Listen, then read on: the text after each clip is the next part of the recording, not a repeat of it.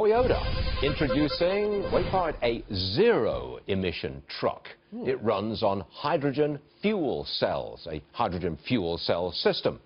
Joining us now with the first look at the truck, Bob Carter, that man right there. He's Toyota Motor North America Executive Vice President. Bob, welcome to the program. Good morning, Stuart, and thank you for having me. As you mentioned, we're here to announce our, Yep. our next step in the development of hydrogen fuel cells.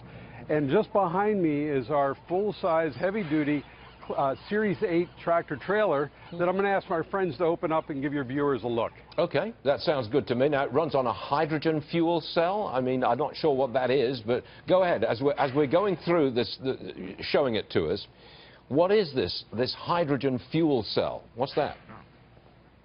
Well, you can think of a hydrogen fuel cell as a vehicle that actually produ it's an electric vehicle first, but it actually produces the electricity that's needed on board. It takes pure hydrogen, converts it to electricity that's stored in the batteries to operate the, the, the vehicle. Now we've done this vehicle by combining two of our hydrogen fuel stacks out of our Mirai vehicle that produces enough electricity to, to equivalent of 675 horsepower and over 1,300 foot-pounds of torque. That's equivalent to a full-size diesel truck. Now what the advantage of this, this technology is, it's actually quiet running, but it produces zero emissions. Wow. And the reason I'm at the port of entry today is, is that, as we know, this is an incredibly important port. There's 42,000 cargo containers that move through this port every day. They're moved around by 16,000 largely diesel trucks. With zero emissions, we think we can have an incredible impact on the uh, environment surrounding the Port of Long Beach and Hmm. perhaps eventually ports around the world. Are you in a position to actually put that truck to work in America today?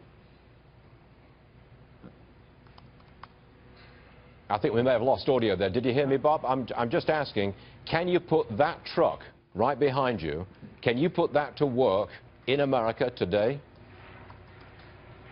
Uh, yes, sir. This, this is not just a show truck. Uh, we're going to actually work with the uh, Port of Los, Los Angeles. This truck will be moving cargo starting this summer. Okay. And again, we, uh, we developed this technology to really show the capabil capabilities of this fuel, sec fuel Okay. cell technology, which we've been running, we've been working on for 20 years.